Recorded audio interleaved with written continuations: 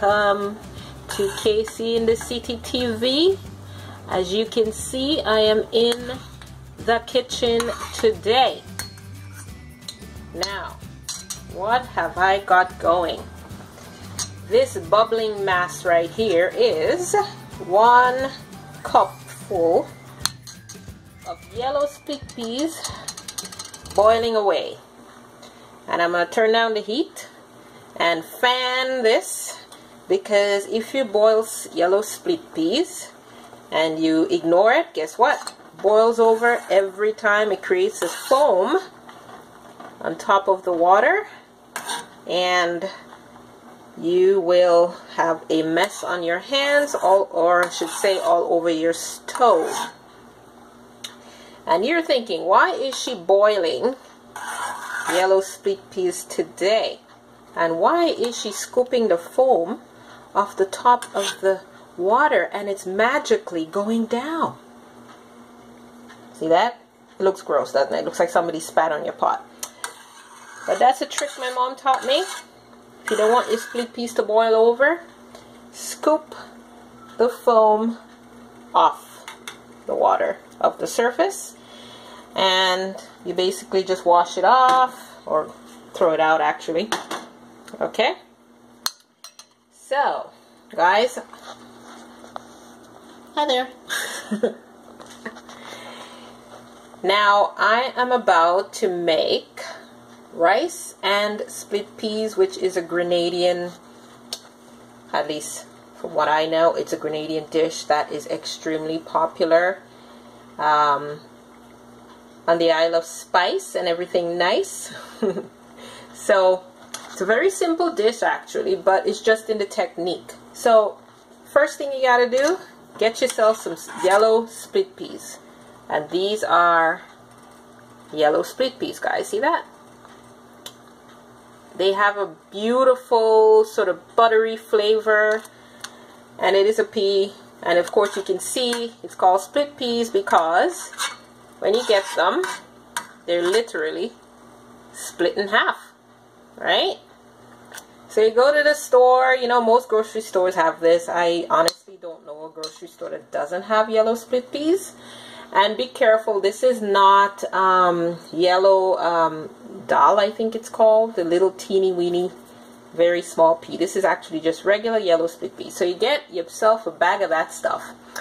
And you bring it on home. Put it in a colander or a strainer or a bowl. And you got to give it a rinse or two You'll never rinse it clear unless you want to rinse forever. Just give it a couple of rinses just to get that dust off it, right? Um, which would help reduce the amount of foam you get.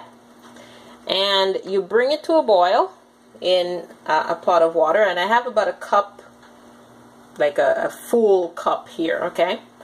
And then you get yourself, hold on, let's go over to the sink.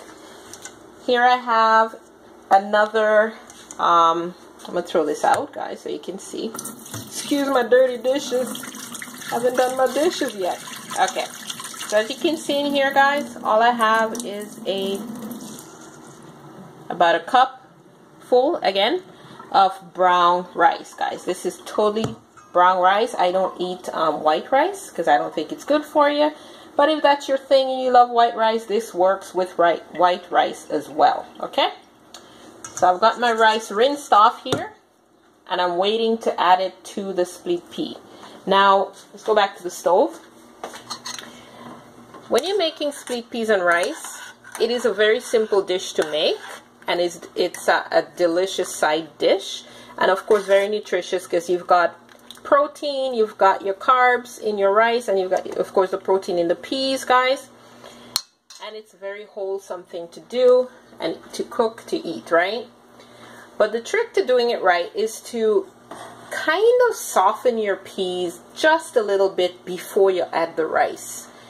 Because the peas take just a little bit longer than rice to cook and if you try to cook both of them together from scratch you're likely going to end up with mush. At least that's the way my mom taught me that's the way I know everybody that I know who makes this stuff that's how we do it guys okay so you boil the peas for a little bit. And you're not boiling it so that it mushes in your hand if you were to pick up a grain of it and squeeze it. all you're doing is just gently taking that absolute rawness out of it and this would only take about oh 10 minutes or so right so bring it to a boil let it simmer for about 10 minutes I wouldn't keep going with the boiling because then you're going to end up with really soft peas and by the time you add the rice then your peas going to be mushy and the rice probably will be too grainy and you don't want that. So just boil it a little bit like 10 minutes. As you can see it's simmering away right? And when we're done that I'll show you the next step. Um, if we go back to the stove so these peas have been boiling for about uh, 10 eh, 12 minutes okay so now it's time to add the rice. So let's go back over here to the cupboard. So you're gonna add the rice in after you've rinsed it off okay? And like I said you can use white rice brown rice basmati rice whatever rice as long as it's rice. I don't think I'd recommend wild rice because that stuff is harder to, like really hard to cook. But I think brown rice or parboiled rice um, white rice should work just fine of course we all know that white rice takes much less time to cook than brown rice so adjust your water based on the type of rice you're using. So you're also going to need some onion right there. And this is like this was a huge onion so I, am only using about oh a third. But if you really love onion put more. If you don't use less. If you hate onion omit it but you will omit flavor. You can cheat and just maybe put um, onion powder if you just want like a broth sort of idea in your rice or you can actually cook the rice and split peas with stock as well. Um, and you're gonna need butter but in my case I have vegan margarine here. And uh, then you're gonna need some salt um, to taste. And you can drop a garlic clove in there but I prefer when I'm doing this to just add a touch of garlic powder okay and that is all you need in this dish believe it or not. And it will be delicious. So the amount of butter you need this much guys. Watch this. I mean you could put more always right? But why would you? You want to keep your waistline in check. Okay? So you drop in some butter whatever butter you want to use okay? Next we grab our rice okay I'm gonna scrape that when I put the camera down guys can't do that right now but yeah scrape all the rice out of your bowl because when you wash rice it will stick to whatever you've got it in okay now turn up your heat. Bring this to a boil. Okay. Stir it around so everything's mixed together nicely. Alright. Next, you're going to put in your um, onion. Okay. I'm lazy. I don't want to dirty more dishes. So I use the pot lid. okay. Stir in your onion. Next thing you're gonna do, you're gonna add some salt to taste. Now, if you're using salty, uh, really salty butter or margarine or whatever you're using, and you think, well, it's got enough salt, then don't add salt. In my case, I just like to add a few shakes. I use a salt shaker to minimize the amount of salt that goes into my food. Okay, I think that should do it.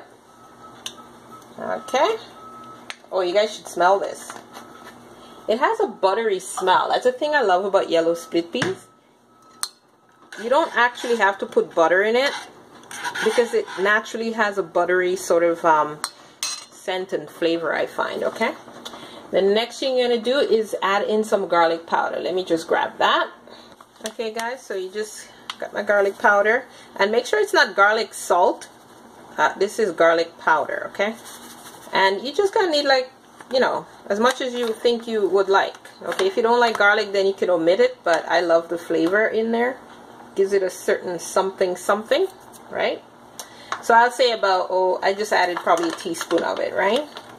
Or slightly less than a teaspoon. Okay? Guys, I don't I don't measure things. I'm just giving you an eyeball portion, but I think it would add up to about a, a teaspoonful. Okay? And you can see it's come to a really good rolling boil. And of course you cannot cook rice, a rice dish on a rolling boil. So you've got to turn it down, okay? So turn it down to low. And I put my, my old-fashioned stove right here. I've got it like on a 4. And sometimes I'll even go as low, almost to a 3. You want this just to simmer gently until all the water is completely absorbed and everything is nice and fluffy and delicious. Um, I think it usually takes about, oh, half an hour for that to happen. So then you just gotta add your lid onto this, guys. And that's it. You literally just wait a while. Keep an eye on it. Um, but if you have it on really low heat like I've got, it's not, it shouldn't burn. Um, and you can see, I should mention that the water comes right above the rice and the peas, not far up, so it's like double. Okay, so I'd say you need about two cups of water, two and a half cups of water to cook this properly. Okay. Now you can always add water, remember, to a, a rice dish like this to finish cooking it, but you can't take water out. So it's better you put um, not enough water than put too much. So if you're not sure, put less and you can always drizzle some more water into it and let it finish cooking. So I'm just going to leave this to cook for a while and then I'll show you guys what it looks like when it's done, okay? Hey guys, time to check on the rice and split peas and it looks just right looks just right so what you do is you stick your spoon down the bottom it's dry when it comes back up it's done. And you want to just give this a stir about you know um, to mix up the uh, you know fluff it up a little. And that's it. Got my heat off. And guys I'm telling you look at that.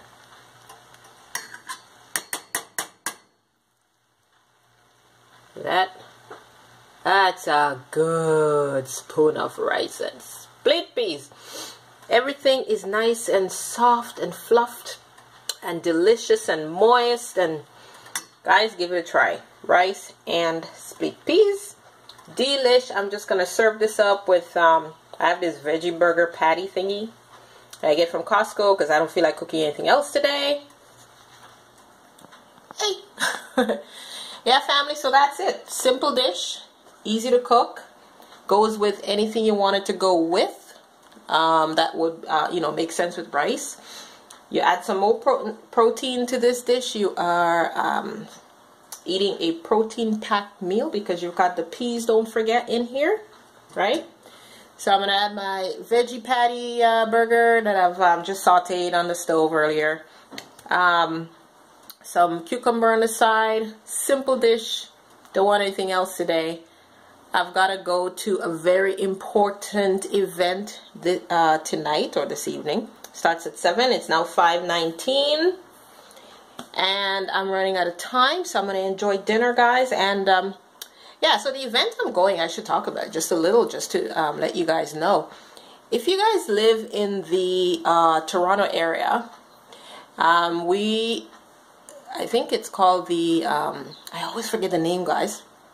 Global Kingdom Ministries, yeah.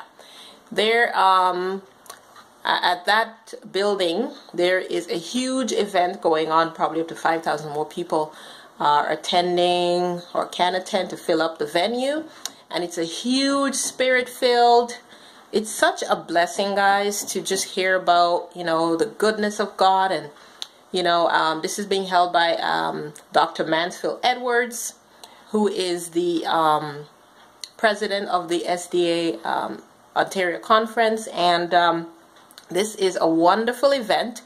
So please, if you um in the Toronto area and you are um, you can get to Scarborough easily, it's just um, uh, it's on Markham Road, just a little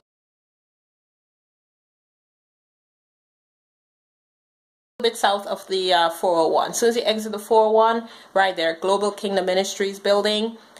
Um, it's an amazing, amazing, amazing event. The music is amazing. Different churches all around the GTA are participating. Um, everybody has their own, um, I guess you call it what? The, the, the praise teams are being sent in to do their thing, you know, every night, switch it up a bit so everybody gets their chance and the the the sermons that uh, you know Dr. Mansfield is presenting they touch your heart you know they, they change your life. And it just shows you you know how wonderful it is to to to know god and to just belong to that family of god right? So yeah guys if you want to come out please come on down check it out. It's every um, saturday sunday tuesday um, wednesday and fridays okay at 7.15 p.m. it starts. So um, you don't have to come every night, obviously, but if you do, there are prizes and all that other stuff. But anyway, the greatest prize you can get from this entire event is basically just feeling the love of God and getting to know more about what it is to be a Christian and what it means to be a Christian in this day and age. So if you're there and you see me, say hi, guys. And anyway, I'll see you guys. Try the um, split peas and rice recipe. And let me know how it turns out. And you can't even see me right now. Let's see if I can get some light. Oh my goodness, it is so dark. Like, hold on. Wait a minute. Hold up. No. Light, no light. Wow. There we go. Oh yeah, that improved. anyway guys, so I'm in the car and I'm in the basement garage of my building. Obviously, it's pitch, you know, it's dark in here. But anyway, I'm up to, I'm off to the 2016 Hope Series I was telling you guys about. This amazing spiritual, spirit-filled, wonderful event that's happening at, um, um, see, I forgot the name again, guys. Anyway, whatever the name of the building was that I told you earlier, I'm about to go there. I'm running about 10 minutes late, but that's all right. I still get most of it, so when I get there, maybe I'll just vlog a little bit more so you guys can get an idea of what I'm talking about. It is an amazing event. I'm enjoying it and uh, hope you guys can come. Um, I think it's uh, Kingdom Kingdom something Ministries. Anywho, there goes the memory, guys. I think I ate too much. Anyway, I'll talk to you guys when I get there.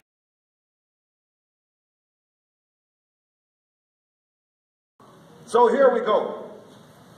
Uh, when you think about what's happening in our world today, it is true that there are many individuals who are suffering from anxiety and, uh, and, and just deep concern. Uh, there are many individuals who are just concerned about the fact that the world is in turmoil.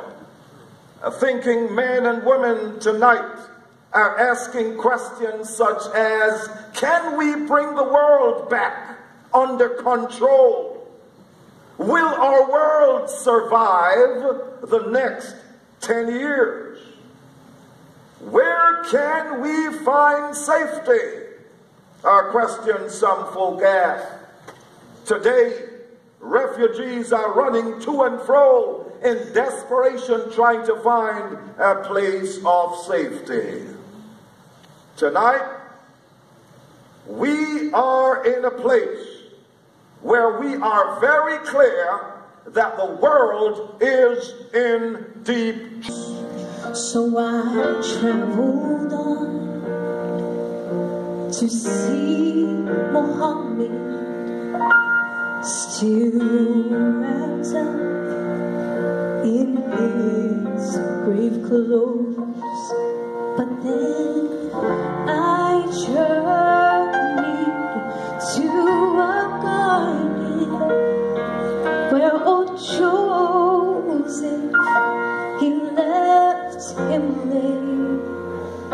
but the precious lamb, God's own begotten, he was no longer in that grave.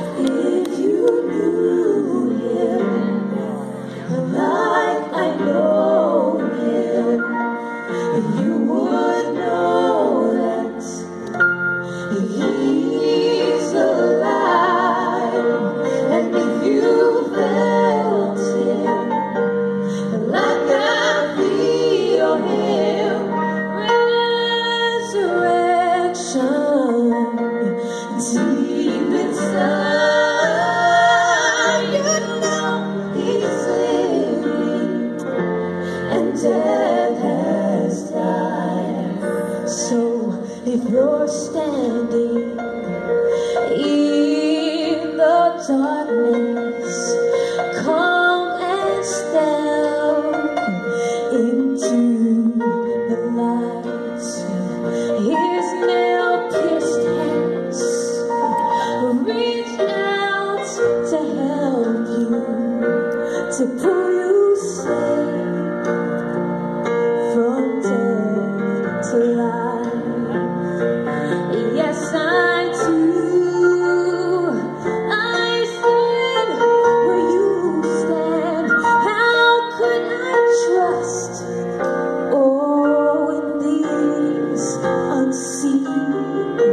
But just